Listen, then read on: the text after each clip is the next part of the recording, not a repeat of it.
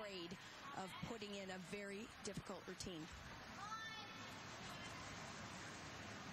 Coach Valeri Liukin says that she is all work. Well, she never stops. You ask her after every competition, there's always something to work on in her mind. Look at that release. And the second one is better. And they're all done in combination, which gives her more points. Nothing is wasted in this exercise. Everything like that skill connected into a beautiful Pak salto to the loba. It's just big gymnastics. Very exciting.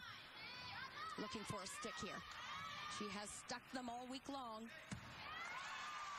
Oh,